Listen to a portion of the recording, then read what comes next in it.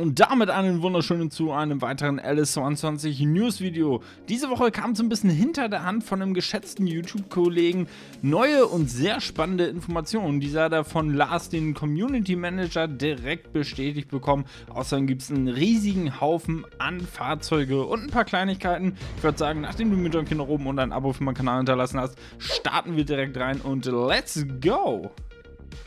Wir starten direkt mit den Factsheets dieser Woche. Wir haben hier einen John Deere 8RX, ein Traktor für knapp 350.000 Euro mit bis zu 458 PS, CVT-Getriebe plus PowerShift.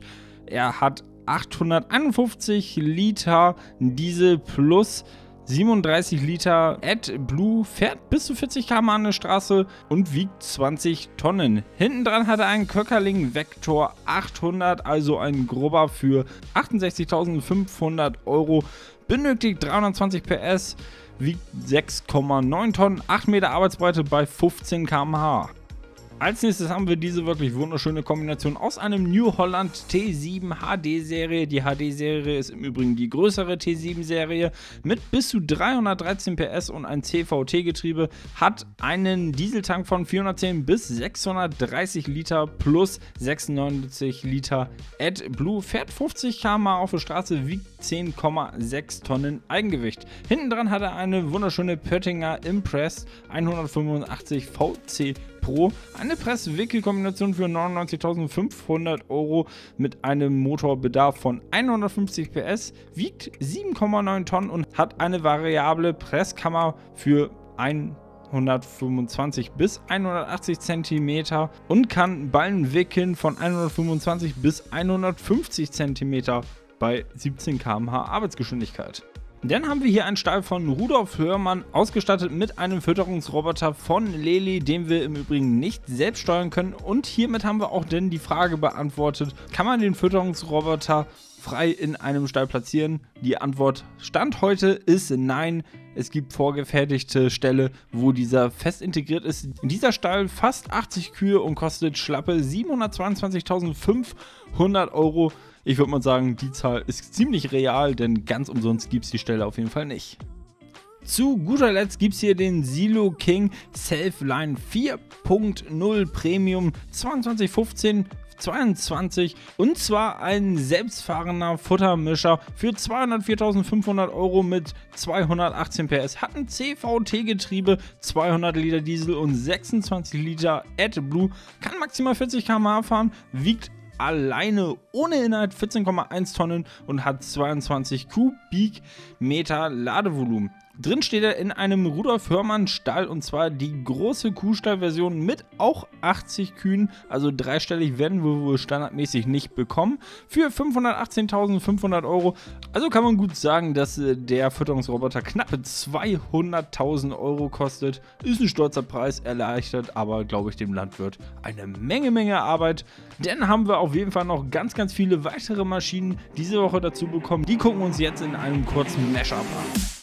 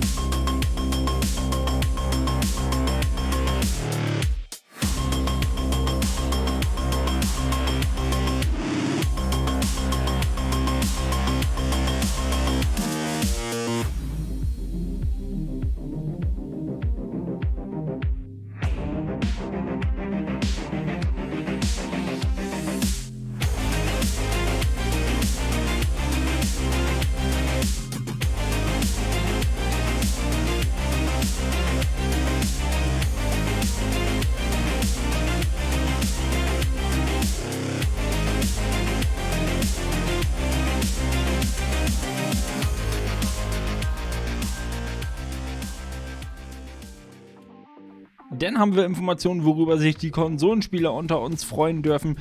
Denn ihr bekommt nicht nur die Produktionen, die bislang nur für die PC-Spieler zur Verfügung standen, sondern auch mehr Slots und viele weitere Sachen. Hierzu hat Lars, der Giants Community Manager, in einem Interview gesagt: Ja, wir haben ähm, an den Slots einiges gemacht, das kann ich verraten. Also dass wir mal, und die Zahlen auch wieder sind sehr, sehr vage, tentative, nicht hundertprozentig, aber dass man eine Idee kriegt. Auf der PlayStation 4 hatte der 19er, also da geht natürlich auch immer die Xbox, ja, wollen wir nicht vergessen, ähm, sowas um die 1290 Slots plus minus, give or take.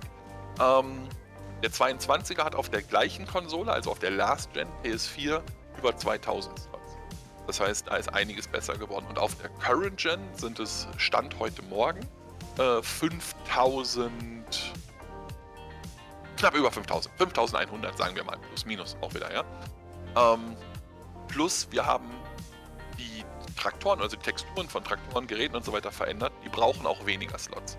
Das bedeutet, ein Traktor, der auf einer PlayStation 4 beim 19er, ich erfinde jetzt die Zahl, ist ja völlig egal, 100 äh, Slots gebraucht hat, der braucht vielleicht auf der, im 22er, auf der PS4 und auf der PS5, völlig egal, nur noch 50 Slots.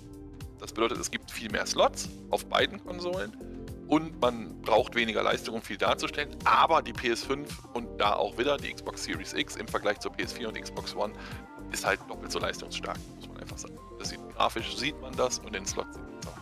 Und auch zu dem mysteriösen Helfermenü wurde was gesagt, zwar noch nicht das, was wir hören wollen, aber es lässt schon mal ein paar Vermutungen zu. Und zwar meine Vermutung wäre, dass es eine Übersicht der aktiven Feldhelfer ist oder eine Übersicht der Helfer in den Produktionsstätten wie Bäckerei und Co. Ähm, tatsächlich haben wir sogar schon das Menü mal gesehen. Das kann ich vielleicht so ein bisschen liegen an dieser Stelle. Es gab mal einen Screenshot, erinnert euch vielleicht, wo rechts am Rand äh, Active Helpers stand. Ähm, das ist das Menü das ist das Helfermenü tatsächlich. Äh, wenn man da drauf drückt, da sieht man halt die aktiven Helfer dann. Äh, und wo die rumhüpfen oder ne, man, sieht halt, wer da irgendwo. Eine Sache, die ich mir sehr gewünscht habe und auch des Öfteren in Videos kommuniziert habe, wurde zu Anfang immer ganz klar verneint. Nun ist sie scheinbar aufgrund von den Wünschen der Community mit reingekommen und zwar der Gebrauchtwagenhändler. Ich glaube, es ist tatsächlich, wie es damals im, ich glaube, es war im 15er, oder? Boah, ich bin so durcheinander mit den alten Versionen mit. Ich glaube, es war im 15er gab es den schon. Es ist halt ein Shop, wo Traktoren zu einem günstigeren Preis drin sind. Und die rotieren aber. Also es ist dann irgendwann die Zeit, läuft ab, wo du diesen gebrauchten Traktor kaufen kannst. Und dann kriegt er andere gebrauchte Traktoren. Es ist immer eine kleine Auswahl von, von Traktoren und Geräten, die man kaufen kann. Und äh, verändert sich halt mit der Zeit. So wie es damals, ich glaube, es war im 15er, ehrlich gesagt.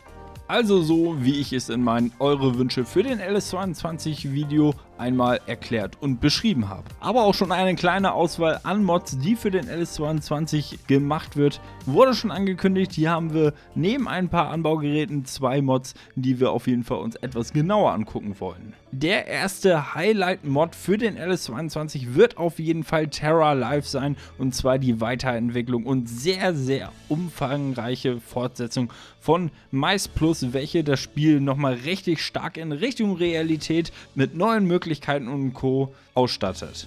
Gerade für mich und meine Big Bio Farm ist das auf jeden Fall ein Mod, der absolut ein Muss ist und das Spielerlebnis um einiges verstärkt und besser macht. Und auch nicht zu unterschätzen ist die Italia Map, welche schon im LS19 als extrem abgespeckte Version zu bestaunen ist und auch heute schon als die schönste Map im Landwirtschaftssimulator bezeichnet wird. Kurze Sache, alle Aufnahmen von Terra Life und Italia wurden im LS19 gemacht, sprich im LS22 wird das wahrscheinlich noch anders und auch deutlich besser und vielleicht auch sogar umfangreicher aussehen. Und an dieser Stelle geht natürlich ein kleines Dankeschön an Ansgar von Nordrhein Play TV, dass ich ein bisschen Bildmaterial und auch seine Infos nutzen durfte für dieses Video. Link ist in der Videobeschreibung auf jeden Fall von seinem kompletten Video sehr gut und sehr aufwendig produziert. Schaut gerne vorbei und hinterlasst ganz, ganz viele Däumchen nach oben und schreibt einfach mal in die Kommentare, hast du gut gemacht. Wäre fantastisch von euch. Ich hoffe, dass mein Video dir auch gefallen hat. Hinterlass mir auf jeden Fall gerne Däumchen nach oben und ein Abo vom Kanal, falls du mehr sehen möchtest. Ich würde sagen, wir sehen uns in einem der nächsten Videos. Danke fürs Einschalten. Bis dann und ciao.